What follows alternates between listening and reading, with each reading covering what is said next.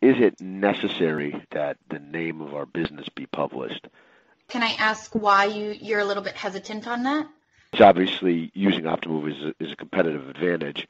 So, you know, you don't necessarily want your competitors to, to understand what you're doing and, and start doing the same thing. Uh, we, we manufacture and we sell direct to consumer.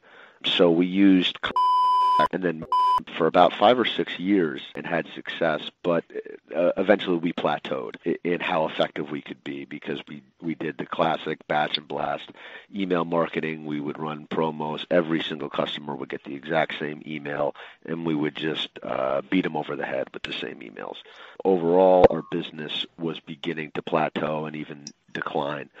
One of the, the real wealths or assets that we have as a company, uh, we've been around for 125 years, wow. is intimacy with our customers. Um, and when I say that, I mean that we really did have a, a, huge collection of data about them, about their purchasing habits, about demographic factors. Sometimes when you have that much data, it can become cumbersome or, or so much that it, it's very difficult to take actionable insights on it. We began to realize that we needed a solution or we needed some strategies that were that were more effective, that leveraged our data better, and did a better job at sending the right message to the right customer. I can't remember all the ones I looked into, but I did look into Optimove, and immediately I thought Optimove was far superior because of the entire philosophy that Optimove uses. And it's a lot of things that I was trying to do on my own, like split and control tests and A/B tests,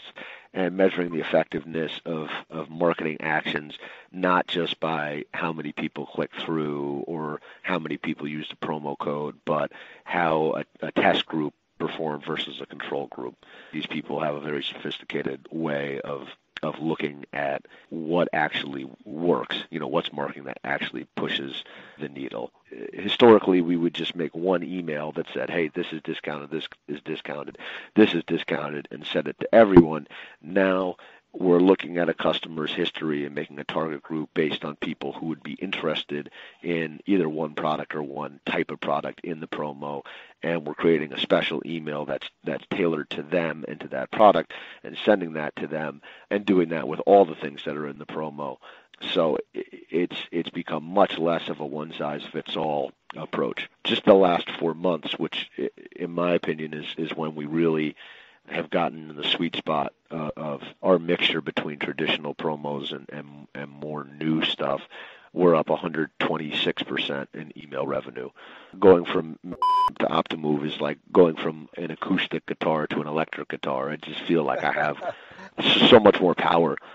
I'm pretty confident every week we're sending a customer the best potential message that they could be getting. Was it a game changer? I mean, was Optimove what you expected to begin with? I would say that it's it's surpassed expectations.